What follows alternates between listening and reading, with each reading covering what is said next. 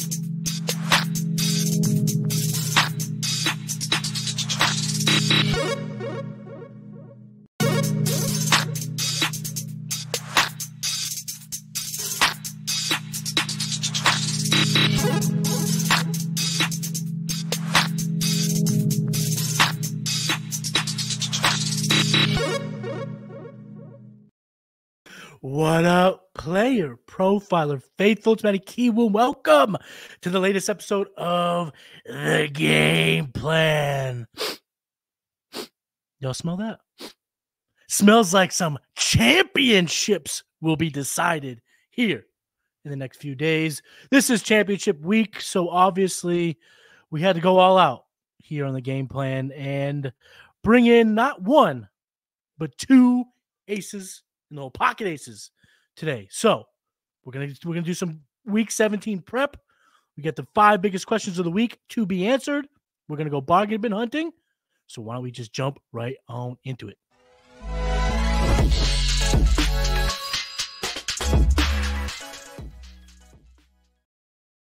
So I got two very special guests here today. The first, you know him from the Dynasty Roundtable, amongst other things here at Player Profile. I'm talking about my man Seth Diewold. Sethy, what up, my friend? What's going on, Matty? Um, it's been a while since I've been on the game plan. Excited to be back, help some people win some championships this week. Ooh, and then we have another special guest. You know him, you love him. Used to be here at Player Profile. Now you know him over at Roster Watch.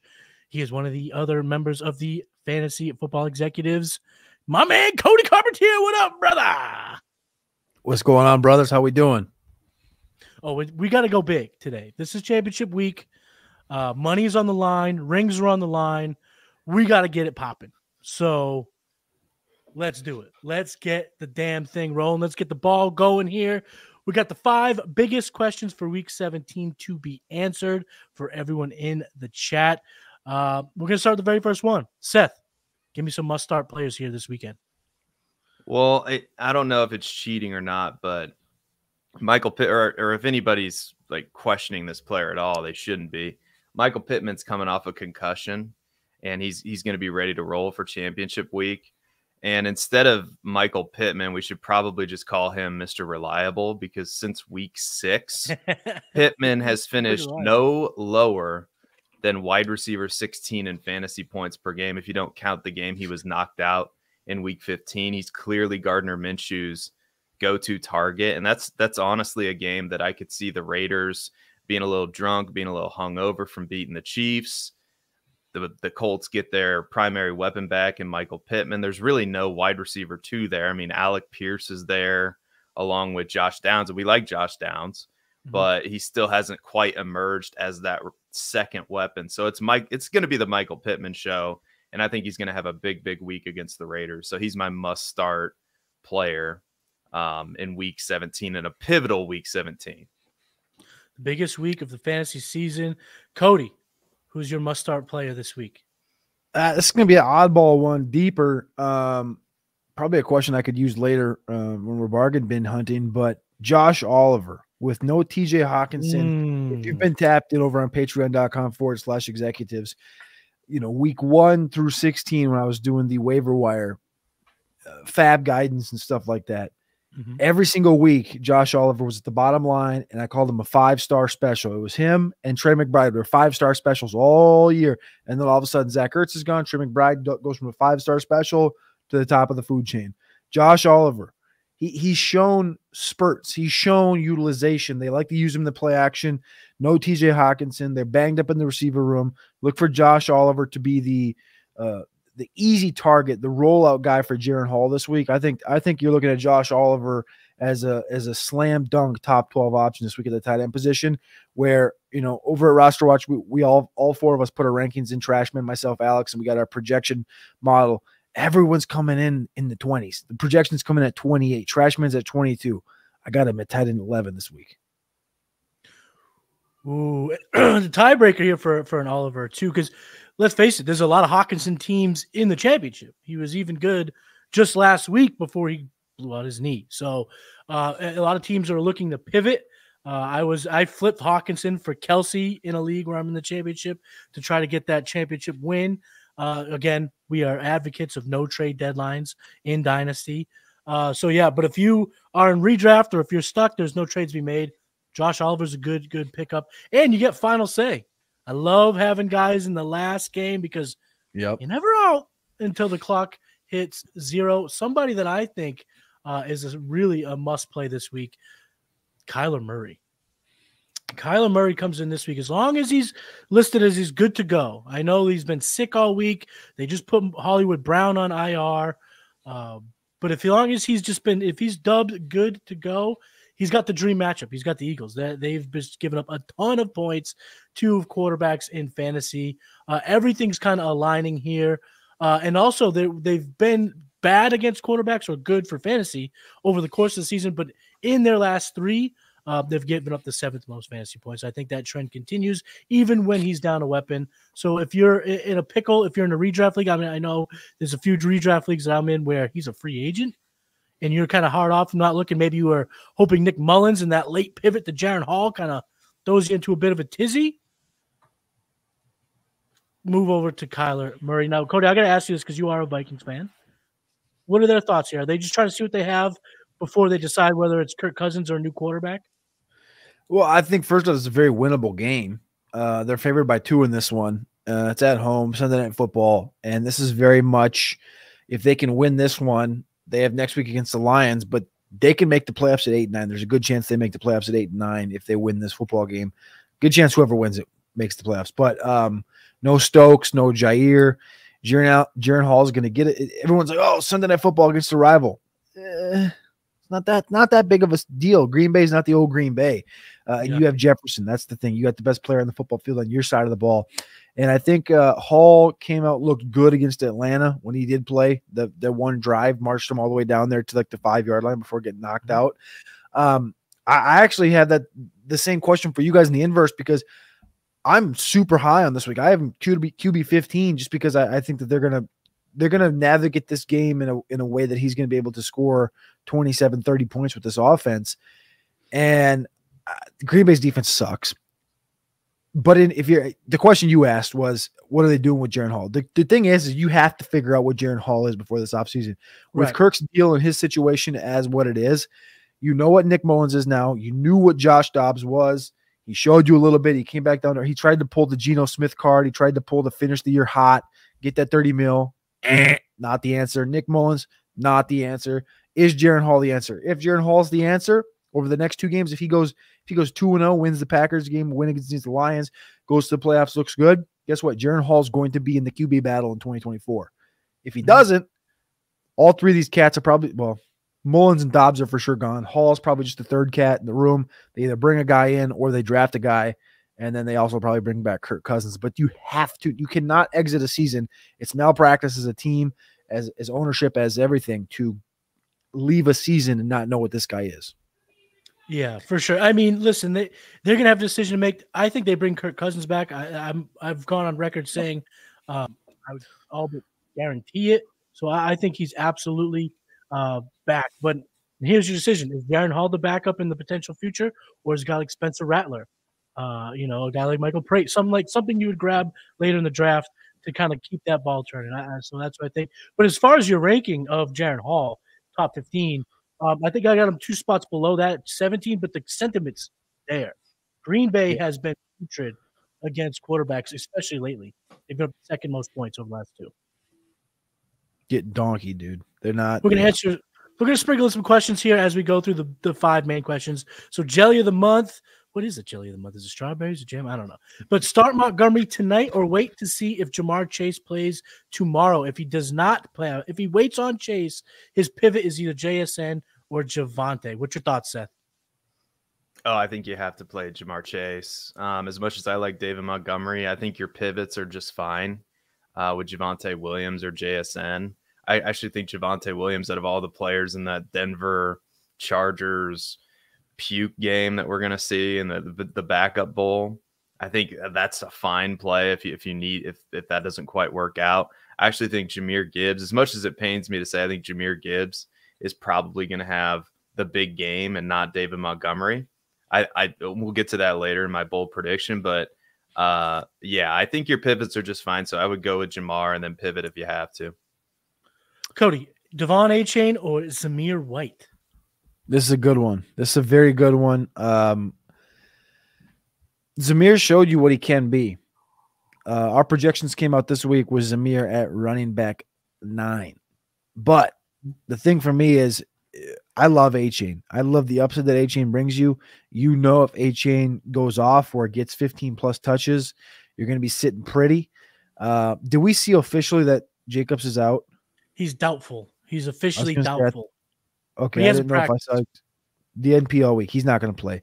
Yeah, um, I'm going to ride with Zamir.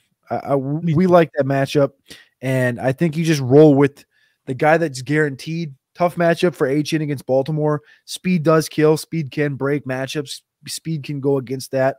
Um, but I think you just roll with the guy uh, that you know is going to carry that load. They've showed it to you the last couple of opportunities without Josh Jacobs. I'm going with Zamir White. Zamir White, number three running back in the war score. If you don't know what the war score is, get your ass over to patreon.com forward slash executives and get the war score. You need it for your championships. Uh, before we get into question number two, let's hear from our sponsors of this episode. This episode is brought to you by Rival Fantasy. Rival Fantasy, the coolest fantasy platform not enough people know about, but they will once I'm done, baby, because they're always innovating. They just rolled out seasonal leagues. We set them up for patrons, for our listeners, and they funded over a $1,000 in payouts. That's what Rival's all about. They're always innovating. They already had the fantasy book where you can take overs and unders, stack them up, multiply your payout, but then they added challenges so you can set your own lines and put them out there for the community. And then you can browse the community's lines and say, hey, this guy's crazy. I'm going to take the other side. It's cool. And they have fantasy bingo. Rival Fantasies reminded me how much fun I can have with fantasy football and use that promo code PLAYER. The promo code is PLAYER. They give you a $100 instant deposit match plus $25 plus a free play. That promo code is PLAYER for up to $125 in deposit bonus and a free play. You can't beat it.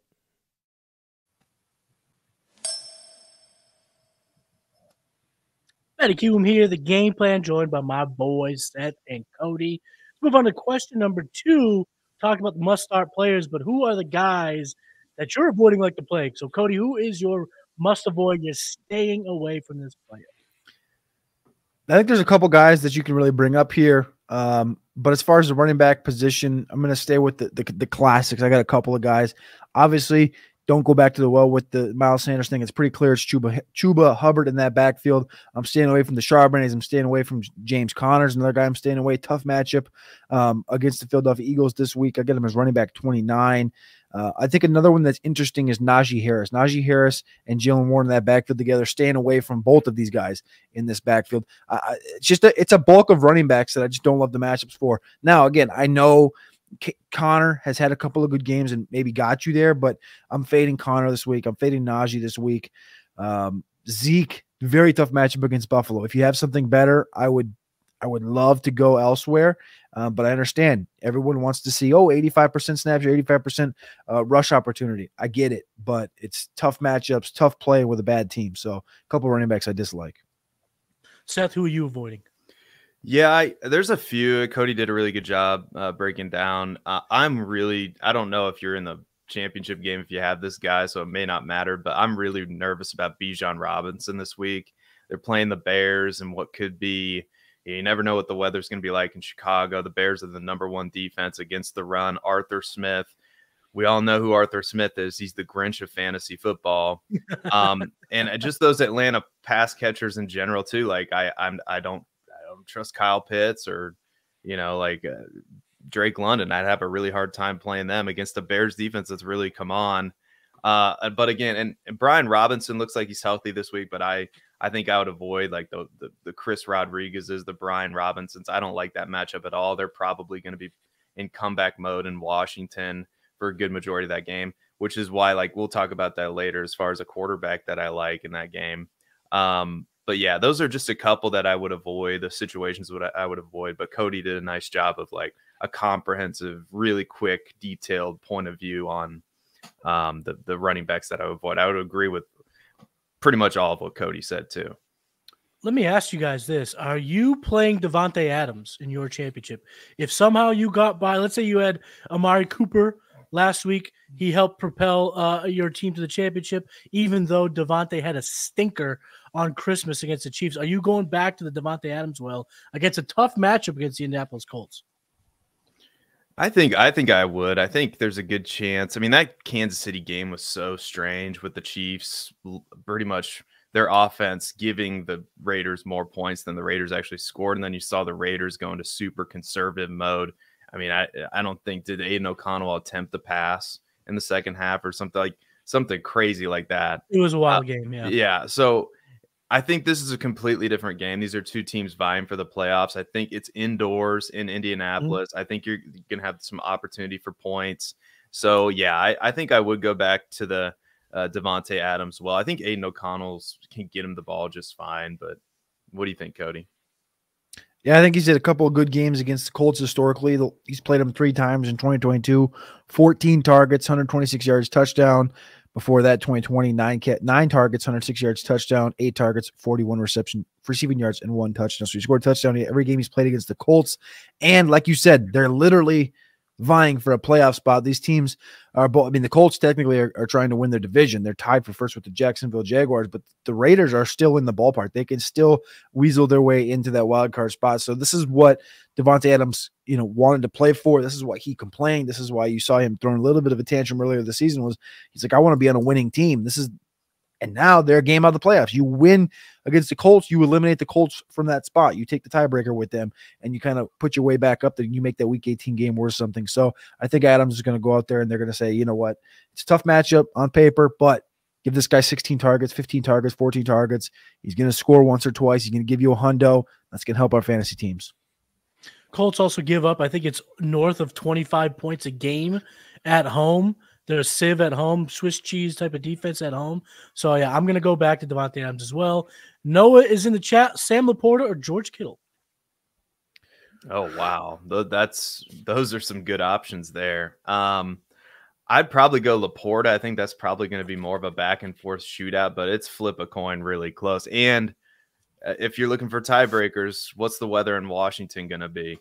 I don't know. It's outdoors. I know that much. So that's something to monitor too. We know that it's going to be indoors. Uh, highest total of the week too uh, in that Dallas game. So I like LaPorta there. Weather conditions look pretty good in Washington, yeah. but Washington surprisingly stops tight ends.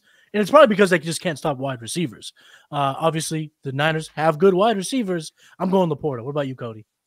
I want to play both. I want to ask Noah if he's got you know flex spot that he can bench you know some shitbagger in because both these guys I have him as ten and four and five and yeah um I think the San Francisco is going to get right. We've seen San Francisco put 45 on teams like this, especially in a get right spot here. You score 45. Uh, I don't know if my uh, Hayfield, Minnesota math does me right, but I think that's like six touchdowns. So six touchdowns, probably a decent chance George Kittle catches one. And then of course Sam LaPorta. We everybody everybody loves Sam LaPorta and that offense and the way it's going to go. That's a that's a shootout in the making with the 53 and a half point total against Dallas. So I, I like both dudes. My question would be for Noah is are you really do you unless his team's loaded? All right, here's got the question. He says, I got Puka, Rashee, Jefferson with Puka in my flex. Also have Pittman on the bench. So he's got, I mean, he's a championship squad right here. That's what we're talking about. So, um, yeah, give me Laporta just because you know what you're going to get out of him. Kittle's got too much, too much volatility. I'll ride with you guys. I'll go with Laporta. Just And real quick, we're gonna put a pin on the Davante Adams talk. Adams or, or Rice? I at this point I can't believe I'm going to say it, but I go to I mean Davante Adams. I mean uh, over a Chiefs, the number one wide receiver for the Chiefs. You know, I I mean, who knows? They could bounce back this week, but I do not like what I'm seeing from the Kansas City Chiefs at all. How do you have If him in your rankings, Cody? If you're projected to lose, I would play Adams because of, you know what Davante Adams is and his ability to score 35 on a given chance. But if you're in a tight game or you're projected to win, I'm going Rashee Rice. I actually have Rashee seven spots ahead of him this week. Love it. And also remember the championship last week or last year, fellas. Jarrett Stidham in at quarterback against the Niners, gonna be dog food. Psych. Davante goes berserker mode and wins some championships. So gotta go to Davante here. So now we're gonna move on to question number three. Give me your favorite matchup that you are breaking ties with, streaming with. What's the matchup that fantasy gamers need to be attacking in the championship? set? Well, I don't, I'm probably going to take the low hanging fruit here, but I mean, Dallas, Detroit. I mean, this total, this game total, like Cody said, I saw 52 and a half. It might be up to 53 and a half now. Uh, this is because these two teams line up perfectly for a shootout. Just digging a little bit deeper. Number one, the game's indoors at Jerry World on that fast track. Number two, Dallas is a below average run defense. We all know the strength of the Detroit Lions offense is their offensive line pound the rock, which Mir Gibbs, David Montgomery set up the play action. They're going to be able to do that. Number three, Detroit's defense is bad. They're number 22 overall in yards per play allowed, number 15 in total yards allowed, number 24 in points allowed per game. I think this is a just a smash. It's lining up as just a smash game for CeeDee Lamb, Jahmyr Gibbs, maybe even David Montgomery and some of the other skill position players um, there. Other games that I like that are maybe a little bit below the radar Raiders, Colts. I think Raiders are going to be high drunk off of beating Kansas City. Um, Antonio Pierce, like Twisted, baby. Get those stogies ready. yeah, like that was that's like a win of of you know a win of all wins there for for that. that was a big win. Big, Um, big I don't know if you remember. Remember Jon Gruden had them like doing laps around Arrowhead when they beat Kansas City at Kansas City. So that for that franchise, that beating the Kansas City Chiefs means that much because that never happens. Uh, and and both of these teams, like we mentioned, are fighting for a playoff spot indoors. Michael Pittman is back. That's a huge deal for Gardner Minshew. Um, and and I think this could be a back and forth shoot. I know the total is only 42, 42 and a half, but I I could see both these teams putting up some points. And uh, as as much we talked about a little bit earlier, 49ers commanders too. I think it's going to be a blowout, but I think it's going to be the kind of blowout that's good for fantasy football. I could see I, I definitely think the 49ers skill players are going to put up points. The McCaffreys, Aiyuk's, Kittle, Debo. I think all those players could have a good game. But on the flip side, the commanders, I know Jacoby By- or Jacoby Brissett is questionable, so you have to monitor that. If he's out, then I don't like this really at all. But if you look at like especially Terry McLaurin with Jacoby Brissett in at quarterback, it's night and day difference. I think Jacoby Brissett is a better quarterback than Sam Howell. And I think the Washington pass catchers are going to benefit from that. And I think Jacoby Brissett, if you're desperate, like I am in a championship league, I, am considering playing Jacoby Brissett as one of my options. So I think that this is set up perfectly for garbage time for Washington. I could see them scoring a touchdown or two late uh, to get you over the hump in your fantasy football championship, whether that's McLaurin, whether that's Dotson or Logan Thomas or whoever. I think it the, all those options, if you're desperate, are are okay options. Would I do I prefer them? No, but if you're desperate, I think it's okay in this matchup. So Seth took eight matchups to go Yeah, after. took- so took- uh, If you, take, if you take all of them, you got to be right about one of them. Right? That's why I'm chuckling. I'm sitting here chuckling because I was like, I know what the running back position. I, I recall Seth's answer after I picked the running backs. Was he's like, yeah, I liked what Cody picked, and I was like, great. I just I just took all the all the all the running backs. So so Seth had nothing to come back with. Then Seth circles the wagons and takes every matchup. No one And- circles the wagons like So- Seth D. So I love that Lions Cowboys game. First off, that's a great one. Uh, I think that's the, the on paper that's the chalk best matchup of the week. Um, I thought you brought up a couple other ones. The Raiders Colts one's very interesting just because of the playoff uh, intricacies that are there. Rams Giants I think is very interesting because it's good matchups for the Rams and the Rams have been dominant. And I think that's a team that they can press and I think they can score 35 in this game, which will in turn I've seen way too many teams. Way I've seen way too much Darius Slayton. People are picking up Darius Slayton and like utilizing him uh, in this matchup. And even last week, Tiger used him in a game and won. Um, Dolphins Ravens. Dolphin, Dolphins Ravens. Last week we saw the Ravens take on the 49ers, win 33 uh, to 19 against Shanahan. Now he gets McDaniels in Baltimore. Can they double tap? Can they can they run it back and can they slow down this offense that is honestly more potent than that Niners offense? I don't know if they can slow them down quite as much, but that has 35 30 written all over it. Um, and then honestly, another one that one that Seth didn't bring up that I like quite a bit. And this is no homerism aside because I think both teams are hot garbage. But Packers Vikings, Packers Vikings Sunday Night Football, the last game of the week, as Matty brought up before. I think there's a lot of key pieces that you can utilize in here. And then I know, I know I'm on Player Profiler uh, Network right now, and this is a player that uh, couldn't pronounce Player Profiler Radio Network, but Romeo Doubs I think is sitting in a good spot this week, and I think I, I have him as a top 30 wide receiver. I think that situation is good. A lot of players banged up in that in that receiver room. Jayden Reed should be back in this one. I think Aaron Jones bounced back last week. Ty Chandler's in a good spot. Josh Oliver's in a good spot. Of course, Justin Jefferson. People have been trying to fade Justin Jefferson, feels like the last two weeks because of the quarterback play, but it's the best receiver in football, point blank, period. Hands down, hands up. Jaren Hall's playable. Jordan Love's playable. Like this is a game that, again, as I just talked about with that that uh the Ravens Dolphins game, it has 35, 28, 35, 30 written all over it. I think this Viking game has uh 33, 30 written all over it as well. Either direction. Don't really care. That was gonna be my pick. Uh, they have, uh, I believe it's the fifth highest over under on the slate, and having final say indoors in a divisional matchup where both teams are trending in the wrong direction defensively. Give me, let me fire that up. So now let me bet, you know, hit you with another question, Cody. What's the matchup that you're looking to avoid? I mean, the matchup that I'm looking to avoid is there's a couple of them on here, a couple putrid ones. Seth likes the Niners Commanders game. I like it because I think the Niners are going to score 45. The Commander side of everything scares me. All these receivers have scared me all year in Washington. Whoever you pick, it's not going to be him. If you pick McLaurin this week, if you got him, play him. Curtis Samuel's going to catch two touchdowns, whatever it is. I don't like anybody on the Washington team. I think that Steelers Seattle game is a complete stay away. I know uh, we have a lot of players coming out of that one. Pickens had a massive game last week. But I tell you what, this is something I told Tiger last week. he advanced to a championship after like Pickens scored 40, Cooper scored 50, Breece Hall scored 45. I said, Tiger, the number one rule when you get to this point of the season is when you see a guy blow their wad in week 16. I said, week 17, you better pull your trousers up and get ready because you're about to take it from the back end. And that's exactly what you did with Cooper. Cooper gave you 50, and then guess what? Cooper turned around and just sat on the bench on, on Thursday night, and it screwed you. It screwed you big time because you're you're banking on that. You're like, I made the championship. I upset the one seed. Bang. And I think that's something you're looking at again with this Steelers Seahawks game. It's tough, tough matchups here for Pickens, tough matchups for Metcalf and JSN on that side of the thing. And then both the running games, I think, will struggle as well. I, I just think this game is this game is going to be putrid. Um, I'll just stick with one game. I'll take one game. Uh, I am gonna pick. I- I'm trying to stay away from the Chargers, Denver in Denver. Mhm. You know, they're making it it just has bad vibes all over the place. The Chargers have all but quit. Denver's making a QB change. They're going to let go of Russell Wilson. There's going to be a new QB on this team in 2024. Ekeler's been bad. Courtland Sutton's been ruled out.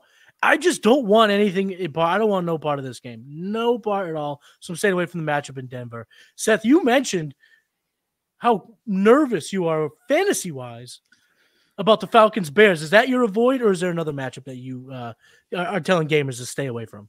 Yeah, I'm I'm nervous about that. I mean, you're probably, I mean, you're just, uh, I'm assuming you're probably you probably have to play Bijan, but I would be super nervous about playing Bijan.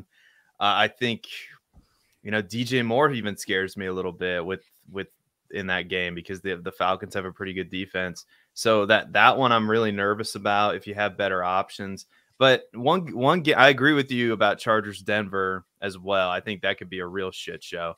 Uh, but real shit bomb. but one uh, game that's in that similar vein, and I want to hear what you guys think about this. All of a sudden, Panthers Jaguars is like, oh oh my god, this could be like a, a Chargers Denver.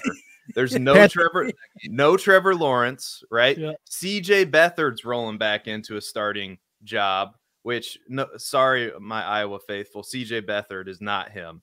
Sorry, Couldn't go a whole episode without No, Seth bringing yeah. up Iowa. That's right. It, Yeah. just mark it off your shit. Like, Mark Weisman, baby. Don't do it. Don't you? oh, dude, now, Don't now do they now they have to take a shot and chug a beer if they're playing the drinking game, the game plan drinking game. Like they, you just got like hundred people Yeah. wasted early on a Saturday. Uh, so, but I mean, Bryce, but Bryce Young, like, just had what a career. Like, he put up twenty some fantasy points, but that was against the Packers defense. That is, you could make a case down the stretch. They've been the worst defense in the NFL. Uh, Mhm. So. I- I know the Jags defense isn't great, but trusting anybody in this game, maybe Chuba Hubbard. I think you can play Chuba Hubbard with confidence, but that's about all all the players in this matchup that I'm I'm not excited about starting Calvin Ridley. I'm not excited about starting Evan Engram anymore. Like I'm just not. Like so I'm I'm very nervous about that game too. Yeah, that could that could prove to be a, a bit of a crap game. Although you aren't looking at bad weather, at least you're in Jacksonville. But yeah, it's not a good game. We got the bold take part. Cody, Cody, what do you got? What do you got? I just want to say uh, this ain't a bold take, but the Panthers are winning that football game.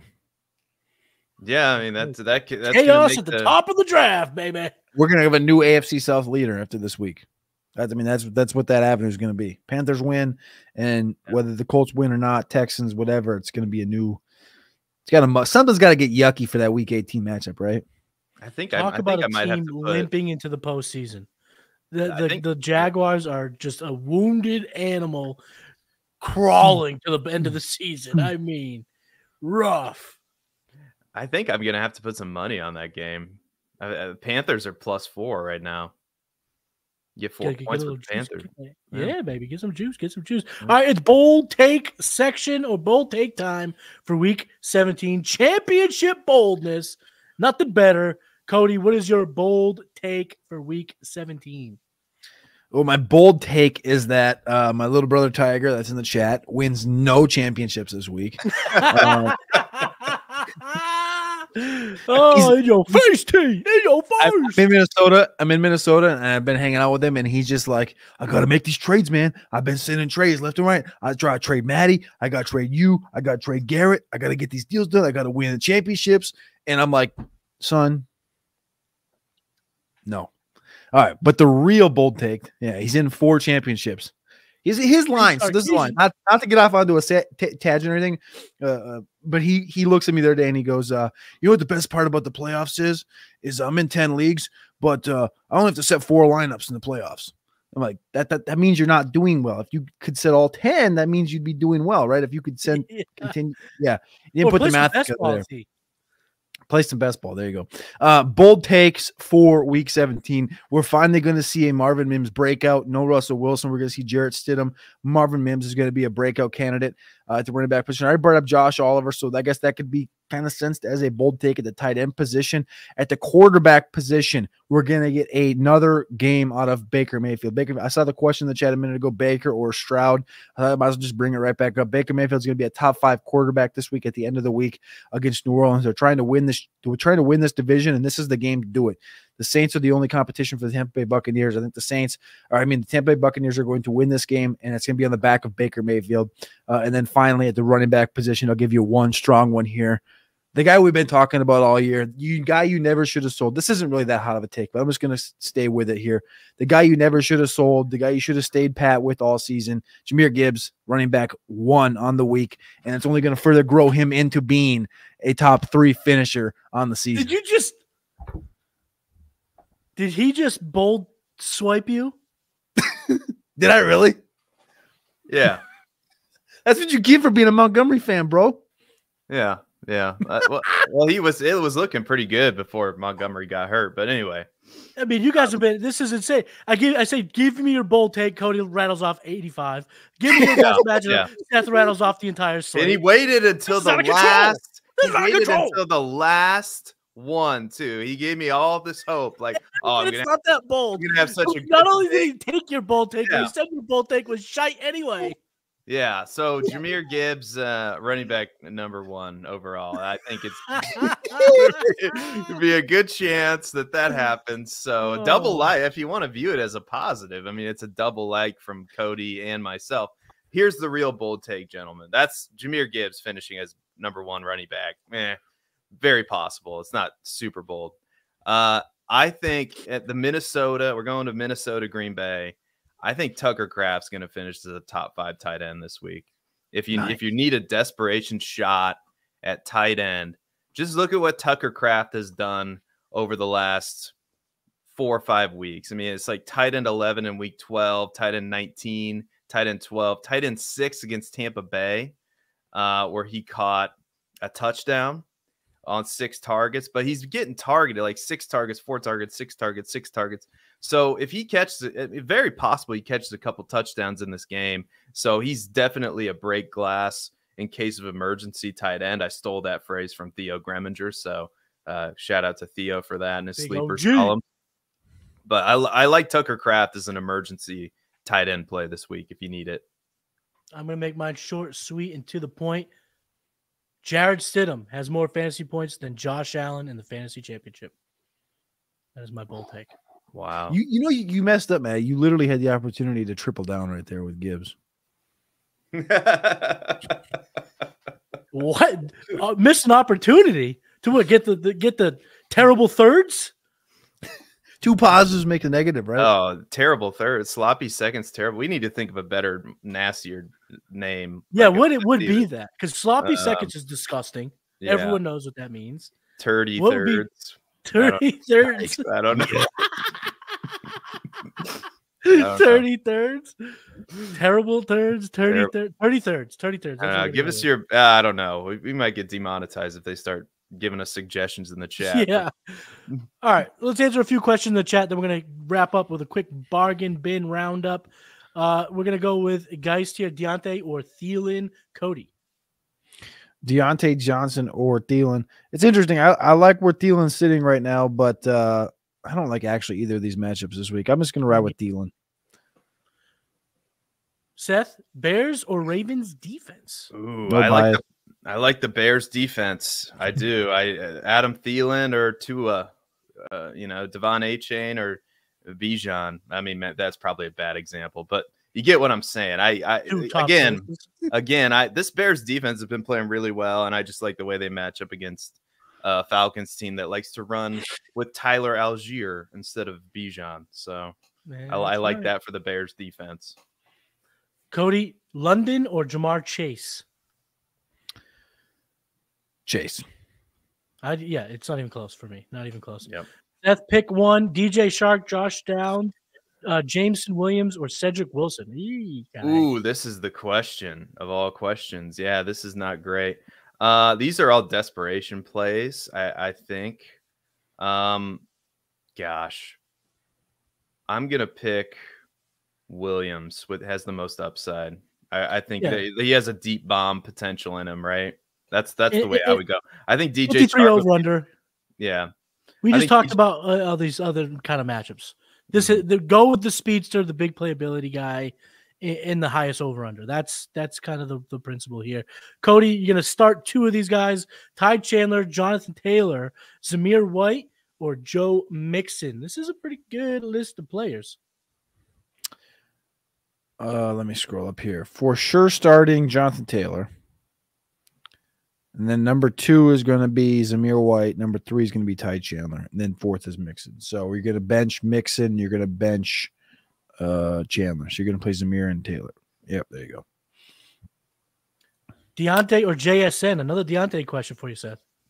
Oh wow, that is pretty close. Uh, I'd probably go with the upside in JSN, and we know who the we know that there's more of a reliable quarterback there too. Um, JSN has put it put on some. I mean, there's more upside with JSN, I think.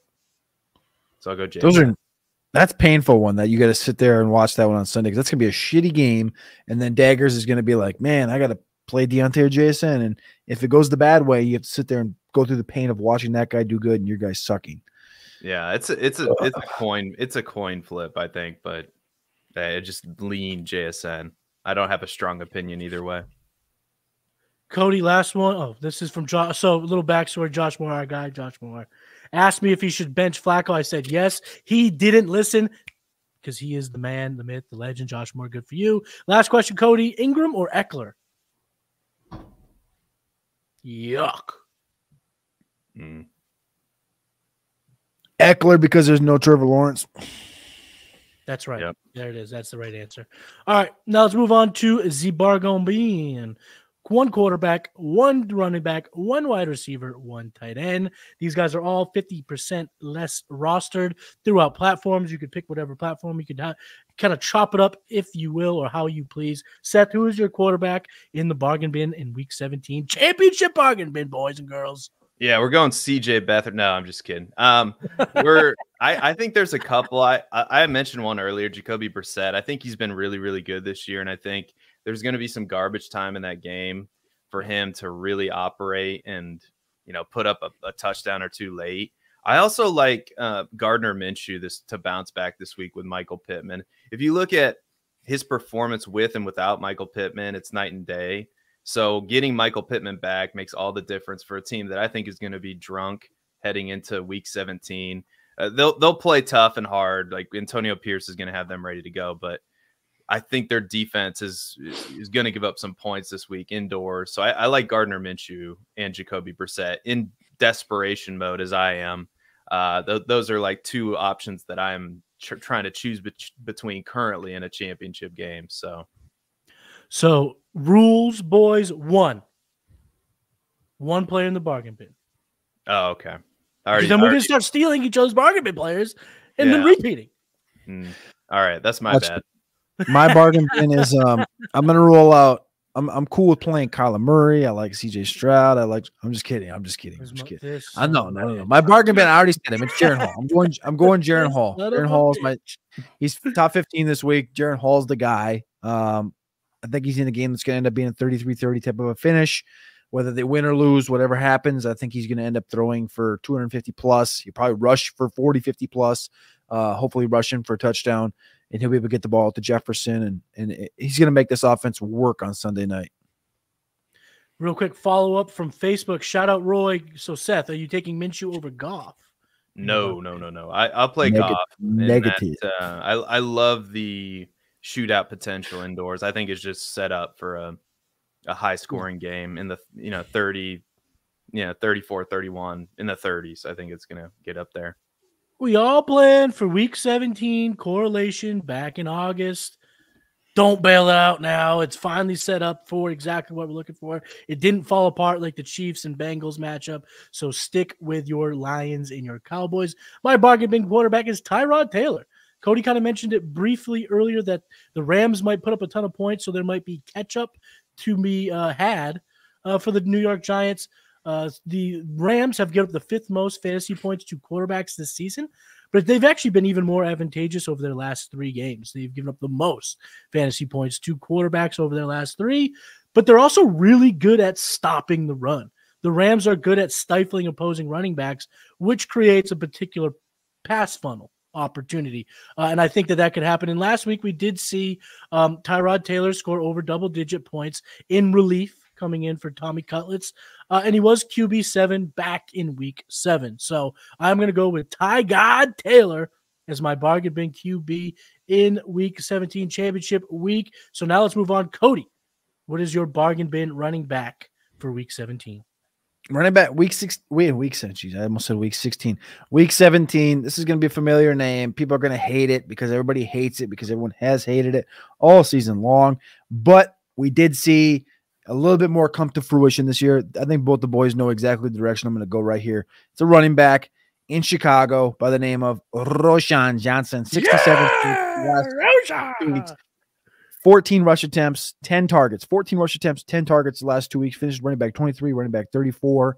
Roschon Johnson, again, another one of these guys. We need to figure out what he is going to the playoffs. And also, best players play when you need to win games. And guess what? The Chicago Bears need to win games. They're trying to win games.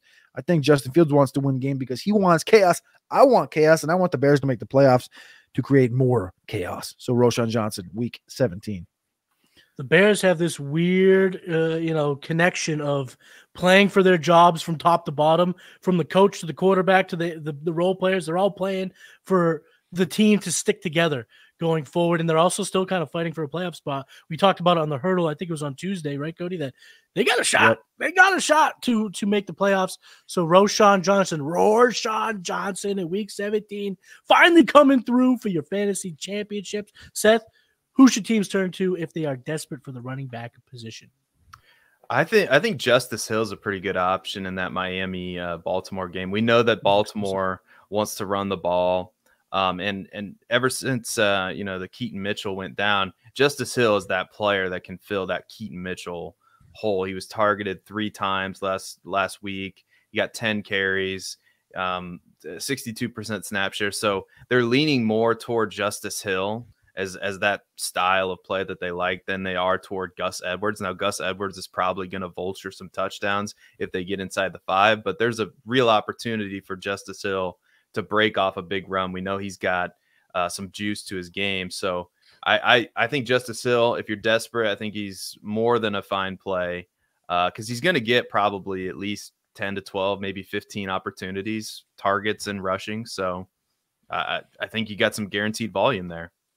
Justice Hill, Roschon Johnson. And I'm going to take the low hanging fruit here, boys. Zamir White. He's still only rostered in about 42% of sleeper leagues, only 16% of ESPN. So if you're in ESPN redraft league, go pick up Zamir White right now. Indianapolis Colts have given up the second most rushing touchdowns to running backs this year, uh, and they've been the second most advantageous matchup over the last three against running backs. We like that. We also like the Zamir White has been damn good for this football club over the last two weeks, scoring over 15 fantasy points in each of his last two contests. So you may not think he's available. Go check your waiver wire because if Zamir White is there, you need to scoop him up, whether you have whether you're going to start him or not, because you don't want your opponent starting him because he has a chance to have a pretty good game in a matchup that we've talked about quite often throughout the show. So go get Zamir White. Now let's answer a few questions in the chat before we move on to wide receiver. Brian's asking Browning or Stroud, Cody? Stroud. Stroud. You guys are awesome. Thanks, Jess, for the for the love. Here we go. Uh Raiders, Chiefs, or Bills defense, Seth. Oh wow. Um, defense question. So the Chiefs playing the Bengals. What are the options here? Bills defense. Bills have the Patriots. That's all you need to know. Oh, Play the Bills right. defense against that's the right. freaking hapless that's in right. the revenge game. Because remember, somehow, some way, Mac Jones and the Patriots beat the Bills. They are going up to Buffalo now, and the Bills are going to look to kick the living dog shit out of the Pats. So you're going to go Bills defense. But I'm going to hit you another one, Seth. Nico Collins or Chris Olave. Oh wow! If CJ Stroud is back, I mean this. These are two great options here. Um, Hammer it if CJ Stroud is back against the t- against the Titans, I like I like Nico Collins there. To be honest, like big, that might be that might be bold. Um, no, that, that, might that might be bold. I don't know, but that, that that's what I would go. Uh, uh don't you? Well, well, hold on. Like, is wouldn't Chris Olave be the safer option out of those two? He has Probably. a great matchup. He does yeah. have a good matchup. So I would um, say if you're favored to win, like if you're a big underdog, it's Nico for sure. But if you're favored to win, maybe Chris Olave guarantees you some points. But I would, I would eh, out of the two, if I have to make a decision, I'm gonna go. I'm gonna roll the dice and go Nico. Cody, I got a two-parter for you: Goff or Stroud, and then Adams or Lockett. Goff and Adams, hundred percent. Goff, you love that shootout matchup. Stroud, of course, coming off a little bit of a banged up injury, playing a tougher Tennessee team. Uh, I like Goff head and shoulders better right now. Uh, maybe if Tank was playing, and probably have a little better help for Stroud at the flex position. Adams, we talked about him earlier. We like Lockett, but Lockett's in a tough game, tough situation, tough predicament against the Steelers. Give me Adams in that championship glory. Good luck. Tyler Lockett, let's see if he's on a new team in 2024 as they make more targets available for JSN. DJ Moore, Zamir White, or Zay Flowers, Seth? Oh boy. Um gosh, I can't believe uh, I, I, might I think Zay Flowers. I, I like that. Um Zamir White's gonna has has a guaranteed floor for you. Um, but out of those three, I think as much as I like DJ Moore, I think Zay Flowers for me. Is that crazy? Yeah, no, it's not crazy. I get it. Cody, Zay Flowers, or Calvin Ridley. So let's talk a little bit of Zay Way. I hate Calvin Ridley, dude. He's one. Of, I, I don't hate him, but it's just it's so irritating for a guy like him and Cooper. Him and Cooper. We talked about Cooper before. The volatility that he brings to the table, where it's like you get that big fifty-five pointer, and guess what? I ain't playing next week, and you knew it was coming before it even happened. Uh, Calvin Ridley has two touchdowns last week, but now you have no Trevor Lawrence. Uh, I'm gonna lean Zay here, but I'm gonna do it with hesitance because I. It, it'd be the perfect situation for Calvin to double down, go two touchdowns, help Jacksonville win this game. But let's go Zay Flowers. Friends, we answered this a few minutes ago, but it's definitely Chase. You're going to go Chase, no doubt, no doubt, no doubt. All right, let's move on to wide receivers. Seth, who is your wide receiver here in the bargain bin? Well, the three wide receivers. I'm just kidding. Uh, another joke. Son of a bitch. Another joke. Uh, did cheat, but uh, uh, I'm gonna go Demarcus Robinson. Uh, if you need him, I I just picked him up in a league, so I know he's available. But if you look at what Demarcus Robinson has done recently in this Rams offense that's really, really hot. It, it kind of goes against convention because you have obviously Cooper Kupp and um, Puka Nacua in that offense. But if you look at what he's been able to do, it's really impressive. So if you need an emergency wide receiver, I think he's a fine play against the Giants. We talked about that matchup a little bit earlier. So Demarcus Robinson for me. Cody, who is your bargain like wide receiver? I'm gonna. I, I, got a couple here, um, but I'm only gonna give you one. Uh, his name's Marvin Mims. Marvin Mims out in Denver, new quarterback. Jarrett Stidham coming in, gonna give, bring you some competency at the what quarterback position over Russell Wilson, and I think he's gonna do something that Russell Wilson hasn't been able to do, and that's push the ball to Marvin Mims. Four targets last week, three catchable, 61 air yards. He was finished as wide receiver 39. If you go all the way back, he hasn't had a game with that many air yards, 61 since week three, had 127 in week three, 91 in week two. I think he's going to double down similar to that week two, three situation. He's going to go 90, 100 air yards, more opportunities for Marvin Mims. And, and you're sitting here in these situations asking, should I start Demarcus Robinson? Should I should I start KJ Osborn? Should I start, you know, uh Darius Slayton? Start Marvin Mims. And, and, I like Demarcus Robinson as well, but start Marvin Mims. It's uh I, I think that the upside in this offense, they need to know who he is as well, because Courtland Sutton and Jerry Jeudy are likely uh out of the building at the end of the season, as is probably Russ. So Marvin Mims, again, remember the first draft pick Sean Payton ever had in Denver, as was Brandin Cooks, the first ever draft pick he had in New Orleans. He wants this guy to be successful. He wants this guy to be good. He wants him to be dynamic, and he will do that in week 17 against the Chargers. So we got a follow up question for both of you. So Cody, the message is Demarcus Robinson, London, or Mims. I'm going to add Mims here for you. Uh, London. London over three. And Seth, yeah. are you going Robinson over London? Uh, I'm probably going with London there, as much as I don't like it. But yeah, I think that's the I'm right going Demarcus Robinson, boys. Jaylon Johnson's been the best cornerback in football all year long. London's been he disappears too much. I'm not going London here. Uh, but I understand why you play him. My bargain bin player is someone that Cody just mentioned briefly. So actually, talked about the top of the show. Shout out Tiger Darius Slayton. I'm going with the giant stack here. Holy shit! What the hell am I doing? Uh, but I already talked about the pass funneling that this defense creates. So uh, uh that's a major reason. And just like QB, LA's been putrid against uh, wide receivers over the last two games, giving up a ton of fantasy points. And Darius Slayton, believe it or not, has 10 plus fantasy points in three of the last five Giants football games. And that includes two top 20 finishes. He doesn't need volume, which is what I usually try to harp on here in the bargain bin because it's tough to depend on, on someone who's not really rostered, not really relied upon to now get 10 targets.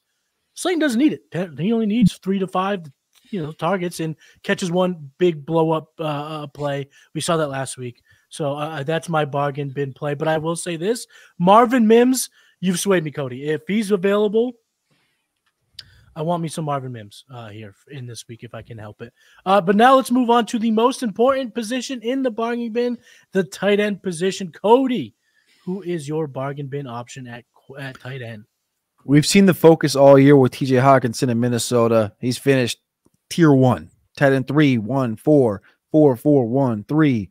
He's been top 10 on a weekly basis uh, in this Minnesota offense, despite there being one, two, three, four quarterbacks at play. Josh Oliver's going to relay into this one. He had 13 routes in week one, hasn't crested 10, only three times has he hit 10 uh, over the course of the remainder of the season, but he has gotten those targets over the last five games four, zero, one, two, and two. He's finished as a top 36, 38. He even finished as tight end three back in week 11, which is four targets. I think Josh Oliver's a guy that's going to come in here. He's going to pull in six to eight targets, maybe nine, maybe 10 if he gets lucky. Maybe if there's a couple inactives that come out late on Sunday. Josh Oliver's my favorite play this week. I think of all four of these positions. Mm, big time move for Josh Oliver. And would you recommend this, Cody? I did this in a league. Uh, I just picked him up so that my opponent could pick him up. I have uh, I have a good player. I'm, I'm not going to use him, but I did just pick him up. Now, give me a quick. Uh, this is a kind of spurring this on you, so you might not have uh, the answer exactly flushed out. So if you need a minute, let me know. But for my own selfish sake, where would, would he mix in your flex type of spot? Like, which running backs and receivers are you benching in favor of Josh Oliver? Because now that you mention it, I might want to get him in this lineup. Let me look here quick. Give let yeah, Seth give his answer. Let, let, me let me look through here at the quick the flex position. Perfect. Seth, who is your bargain bin tight end? As Cody uh, gives me some advice because this is my show. I can do whatever the hell I want. Yeah. Uh, well, I, I, already I don't know if this uh, this is going to be cheating, probably, uh, but I already gave you Tucker Kraft, so there's one. Uh, two would be Chiggy Okonkwo. Uh, if you're in desperate need, he was the number two tight end in fantasy points last week against Seattle. Uh, you have Will Levis coming back. But if you go back further than that, there were signs of life for Chigga uh, starting in week 12 against Carolina. He was the tight end 13. He's the tight end nine in Indianapolis. He's been he was been averaging like eight, nine fantasy points per game. And then he had the big blow up week in week 16. So he's getting five, five targets, six targets, six targets, and then six targets again last week. So he's been getting targeted and he's probably sitting out there on your bench. So if you if you're in desperate need of a tight end, I think he's a fine option against Houston. That's a pretty good matchup uh, for for a tight end. So I like that. And I will uh, go ahead and just give my tight end real quick, and then we'll get Cody's answer for my personal fantasy team. Uh, but my tight end uh, in the bargain bin is Juwan Johnson. Uh, yep. The Buccaneers have been terrible. Their secondary is awful. They give up a ton of fantasy points to quarterbacks, wide receivers, and tight ends. Over their last three games, they've given up the third most fantasy points on a points per game basis. And Juwan Johnson's been pretty effective over the last two. He scored over 10 points in each of the last two Saints contests. So if you need him, he's out there. I think he's only rostered in about 20% of ESPN leagues. I'm going with Juwan Johnson, baby. So Juwan Johnson, Tucker Kraft, and Josh Oliver. But now the question we've all been waiting for, Cody, where does Josh Oliver fall in your flex ranks? Well, first off, at tight end, as like I said, I have him at 11, so it's right below Chig and Cole Kmet. Uh, and I and I honestly feel like I want to move him ahead of both of those guys. But at the wide receiver, running back position, guys that I would start Oliver over, I'd start Oliver over Gabe Davis, start him over Jayden Reed, Josh Downs, Jakobi Myers, uh, Noah Brown, Drake London, the aforementioned uh, Diontae Johnson, Jaxon Smith, and Jigba.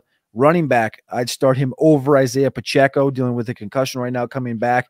Uh, decent mm. match against the Bengals. I'd start him over uh, James Conner, start him over Jaylen Warren, I'd start him over Najee Harris, Javonte Williams. Would not start him over Ty Chandler. Wouldn't start him over Mixon or Swift, and I probably would not start him over Zay or Pickens or Thielen.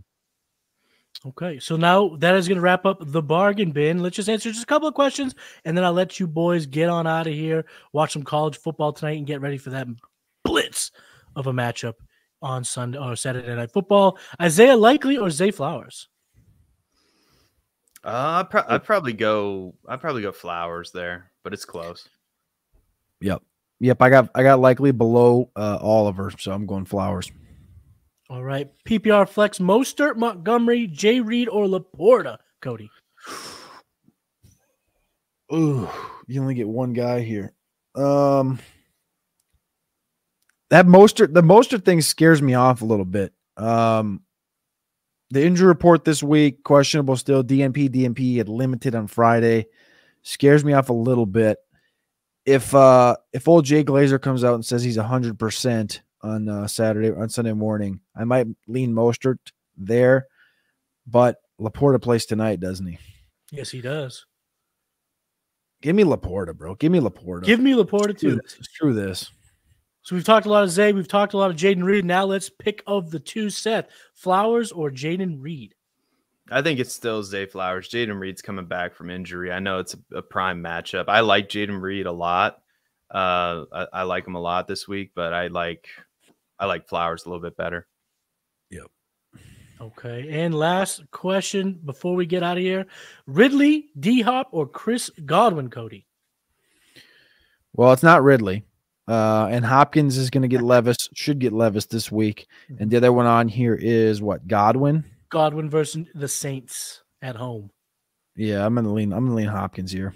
Give me Hopkins Oh. against uh Houston in Houston. Let's do it. Oh, all right, boys. Thank you so much for rocking me on the championship bonanza, answering the five most important questions of the week and diving deep into the bargain bin to give the planners all of the information that they need to dominate and get the chips with the dip, baby. But now the floor is yours. Seth, I'll start with you. Let everybody know where they can find you, where they can get all your content, everything they need to know about Sethy D. Yeah, you can follow me on Twitter at Seth underscore D I E W O L D. You could follow me or subscribe to my YouTube channel, same first and last name. And all my work you can check out. Um, I've been writing a weekly Dynasty article at playerprofiler.com, so you can check all of that out there. And go ahead and check out all of the work of our talented writers, including Matty Kiwoom, um, at playerprofiler.com slash articles. Cody, floor is yours. Tell the people where they can find you if they don't, but they probably already know. But we're gonna say it anyway. First off, I did want to say just a second ago, I brought up that Hopkins thing. Hopkins is playing in Houston for the first time in his career as an opponent, by the way. He's played him twice, but it's, really, it's been on the road, yeah. So he's going to be back in Houston for the first time in his career as an opposing team. But you can find all my stuff over at Roster Watch. You can find me at patreon.com forward slash executives. I will be on Sirius XM channel 87 here in about an hour with Alex Dunlap, your boy. Uh, you can find me on X at Cody Carpentier. Uh, and all my other stuff is going to be over at rosterwatch.com. I'm going to be find my mock drafts. You're going to find my rookie write-ups, my rookie spotlights. And then Alex and I are on the Roster Watch uh, YouTube channel as well, doing uh, Roster Watch rookie profiles for all the Senior Bowl guys uh, on the on a weekly basis right now. So that's where everything's at. And you can obviously find me on X at Matty Kiwoom. All my stuff at Player Profiler is at the website playerprofiler.com. Make sure you're subscribed to the Player Profiler YouTube channel. Like this video, leave a comment if you have a lineup question, whatever. Leave it in there. We will check it out and get back to you. And then also go over to the Executives of Fantasy Football YouTube channel. Throw another subscribe over to that. Cody and I have the Hurdle Tuesdays, and then the three of us are on every single Wednesday. Cody, Seth, and myself on the Hurdle. So go check that out. And the Sunday watch alongs, they're about to turn into the playoff watch alongs because you know holiday season can't really get to it, but we will get back to it in the playoffs. And then patreon.com forward slash executives, war score, cuck score, Cody's rankings. We can get the mock drafts there. Everything in the get to the Discord. That's where you want to be over at patreon.com forward slash the executives. But that's Cody. That's Seth. I'm Matty Kiwoom. Keep game planning, my friends, and get those fantasy championships. Peace. Hey, I want to take a moment to thank you for tuning in. It's important to me that all of our media be free. This is only possible because of you allowing a true independent sports media enterprise to thrive unlike any other in the business. So please subscribe to the All In package to continue to make all this possible, to ensure that all of our stats, information, data, content is available to you, especially you, the people that get the site and get the show.